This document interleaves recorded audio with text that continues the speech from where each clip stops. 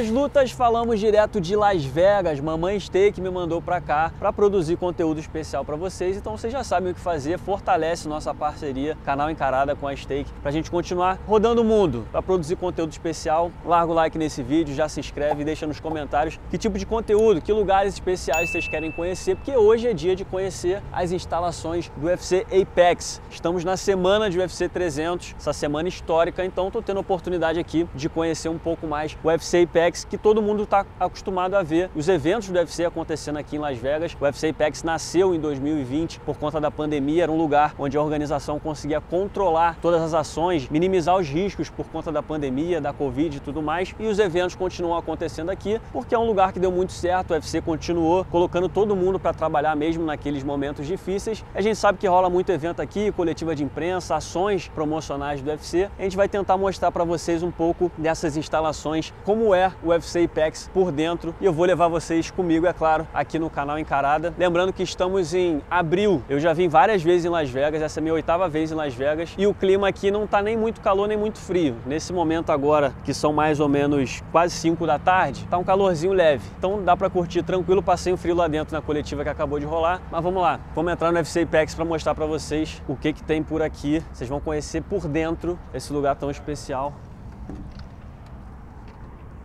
Entrar na câmera.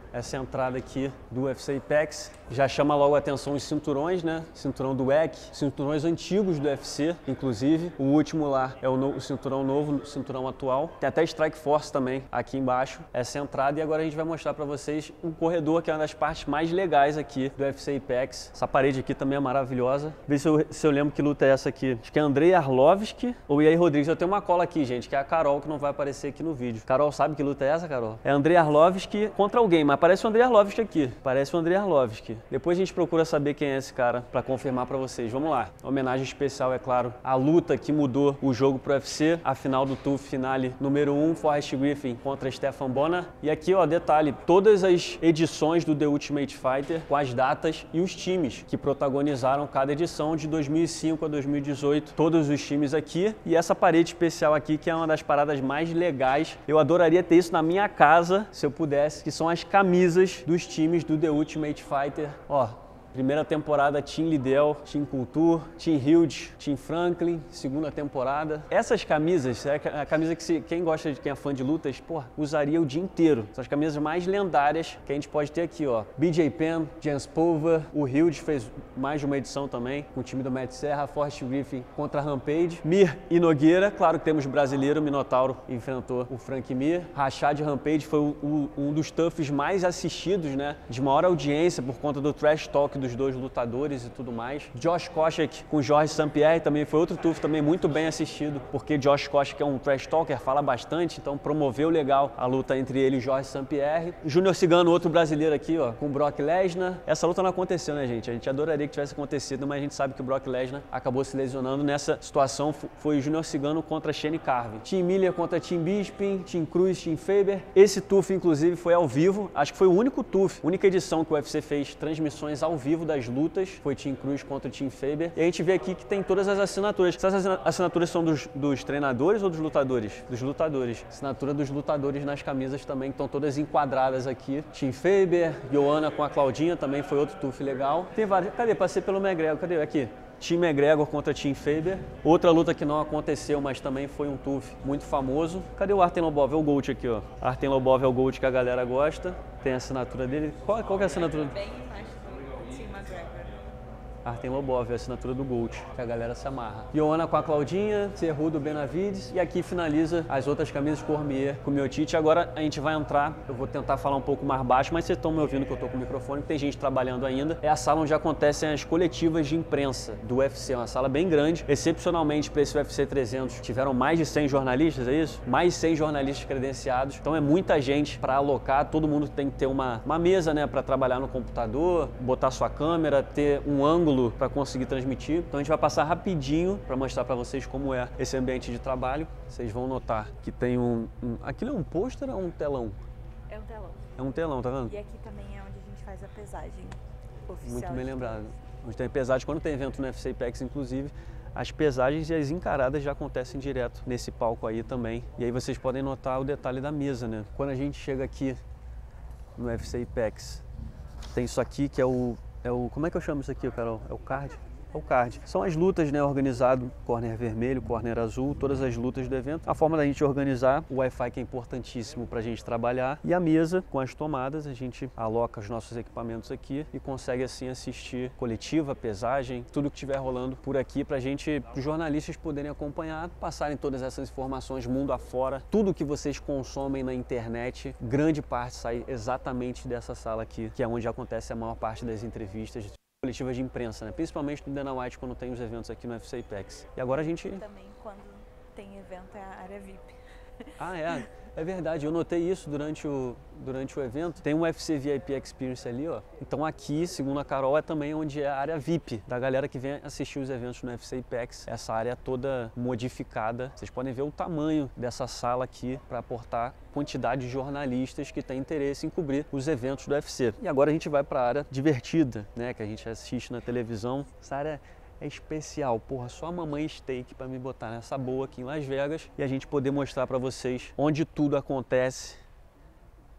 Fico até arrepiado de chegar aqui. Olha só que irado esse lugar. É aqui que acontece os eventos no UFC Apex. Esse é o UFC Apex que a gente assiste na televisão. A gente pode ter uma noção de espaço também. Vou chegar para longe aqui para vocês terem uma noção de espaço, do tamanho. A gente vê muito nas transmissões, né, as cores. Olha a parafernália de, de, iluminação que tem aqui, de câmera, tudo isso é uma estrutura que o UFC gastou dinheiro para construir para poder produzir os eventos de uma forma mais prática e fácil. Aqui onde os lutadores passam, a caminho do octógono, a gente vai chegar perto do octógono também, mas dá para ver aqui. Vamos passar aqui dentro. Os lutadores, pelo que eu entendo, eles saem dessa cortina aqui. Vou fazer o caminho do, do lutador para vocês verem como é que é. Sai aqui já como? Eletrificado, eletrocutado, bum, sai andando boladão, funk carioca tocando, obviamente, na caixa de som, para os brasileiros se sentirem em casa aqui em Las Vegas. Passam direto, dá um alô para a galera que está ali, veio do Brasil curtir, a equipe. Vai chegar até aqui na frente do cage, que é o lugar onde normalmente está a galera da comissão, né? Os médicos. Esqueci o nome do The Damn Tate, como é que eu chamo ele? Cutman, Porra, esqueci o Cutman. Todo mundo conhece o Dedem Tate, né? Grandão, fortão, que brinca com Gilbert Durinho e todos os outros lutadores, mas tem vários outros profissionais que trabalham aqui. O lutador para aqui, é o momento que o Cutman analisa, né? Se ele tá com vaselina, se tem que secar ele, se ele tá com qualquer problema. Analisa também a atadura e a luva, se tá tudo certo para ele lutar. E a partir daqui, ele pode subir pro octógono. É pedir demais? Será que a gente pode? Pode subir em volta, só não pode... Só não pode entrar, só não pode entrar. Mas vamos lá. O que puder aproveitar desse momento, a gente vai aproveitar. Então, subiu aqui.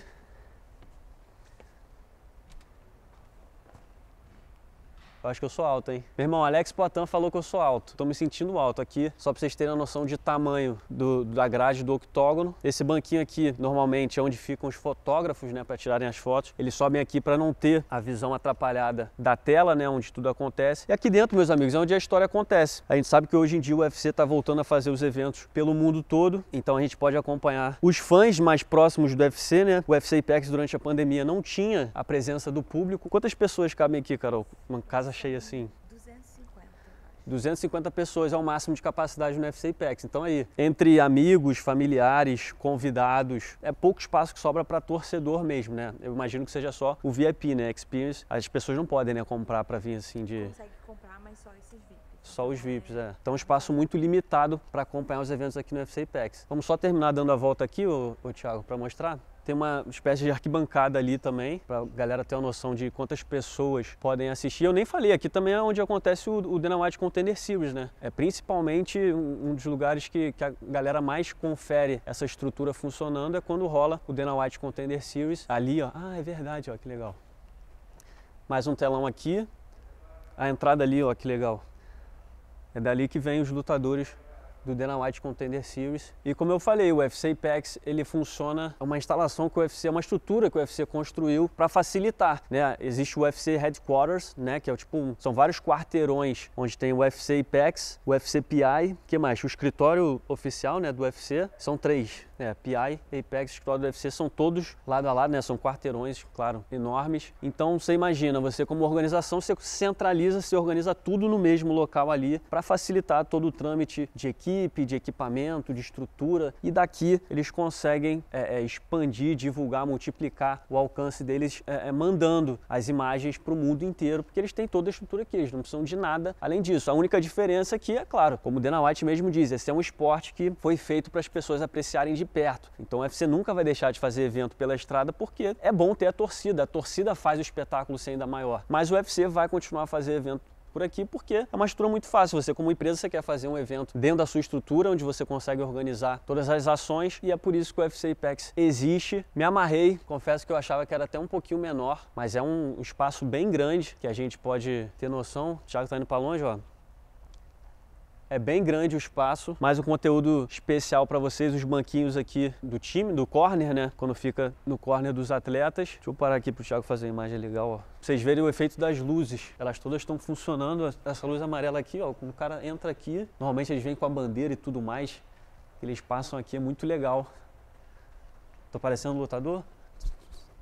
Ah, só não pode cair o microfone. O que, que vocês acham? Deixa aí nos comentários se eu levo jeito pra coisa. E vamos lá, vamos tentar agora ver se a gente chega no, no vestiário dos atletas para mostrar para vocês também esse detalhe sobre o UFC Apex. É né? Olha a parede que legal, ó. Bisping, Makachev, Amanda Nunes, GSP e Coleman. É o Coleman lá no final? E aqui tem o Royce Grace, Holly Holm. Aqui, ó, que legal. Vou mostrar para vocês os vestiários onde os lutadores aquecem e se preparam para as lutas do UFC. Olha que maneiro, galera. Vocês normalmente veem as imagens que vocês estão vendo agora no Instagram do UFC, né? O Dana White publica muito. Fight Night, daqui a pouco começa o card principal e tudo mais. Então aqui que vocês veem essas imagens especiais, tem um cronômetro ali, né, para os lutadores aquecerem. Tem o famoso Bob, que é famoso nas academias, né? Eu confesso que eu não vejo muito, a galera usa muito esse Bob. Ninguém usa, né? Ele tá aqui só para fazer presença mesmo. E aí tem esse tokenzinho aqui, que eu imagino que seja para botar a hidratação, né? A água. Ah, a maquininha, é. Maquininha para fazer a liberação de, dos músculos. E aqui mais uma parede histórica, né? Nate Dias, RC Rudo, Jorge Masvidal, Rosana Mayunas, Tony Ferguson, Donald Cerrone, Willy Zen, Francis Enganu, Mano Volquinha cabeludo, hein? Que não, não existe mais, é o Volquinha careca, Claudinha Gadelha e Stipe Miocic. Esse é um vestiário, são dois? São vários. Esse é o vestiário que a gente está conhecendo hoje. Ah, é sim, claro, lógico. O que puder mostrar, a gente vai mostrar. Vamos aproveitar essa oportunidade, que sabe Deus quando vai acontecer de novo. Ó, tem uma salinha assim, porra, esse...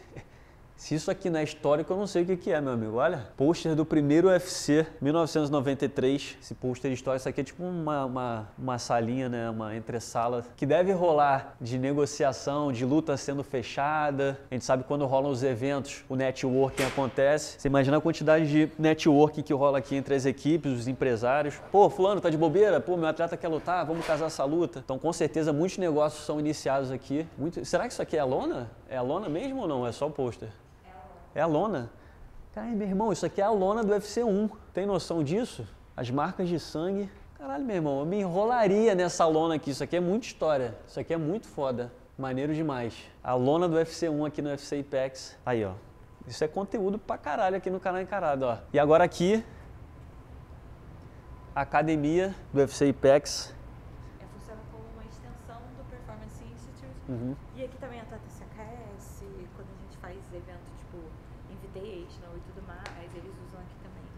Porra, que legal. Confesso que vi pouca coisa daqui. Nem sabia da existência dessa. Ou não reconheci, né? A academia, essa academia aqui dentro do UFC Apex. Pô, muito legal. Essa frase que é histórica do Muhammad Ali: não desista, sofra agora e viva o resto da sua vida como um campeão. Muhammad Ali, lenda brabíssima. Aqui é o que? Parada de escalar? Ah, não, é, é aquele de reflexo. Pô, isso aqui é maneiro demais. Tem aqui um, um tatame, né? Um saco de bater pra galera aquecer ou treinar, como a Carol falou. Isso aqui é uma espécie também de, de extensão do, do FCPI. Às vezes lá está muito cheio, o lutador quer treinar mais próximo aqui do UFC Ipex, então ele já tem essa estrutura aqui. Estão tendo uma noção do, do que, que é a estrutura do UFC Ipex, né? Eu mesmo que já pô, trabalho com isso, tinha uma, uma, uma imagem na minha cabeça que já foi absurdamente ampliada fico imaginando vocês, a mesinha aqui para resenha, né? Os caras ganharam a luta, né? Vamos comemorar onde e tudo mais. Cronômetro, luz, que é importante para tudo que é tipo de mídia, né? 2024, né, galera? Tem que fazer mídia de tudo para jogar na, na, internet, nas redes sociais. Tudo bem estruturado. Academia e tem um ringue ali no final, que é irado também. Tem outra fase, frase ali na, na parede.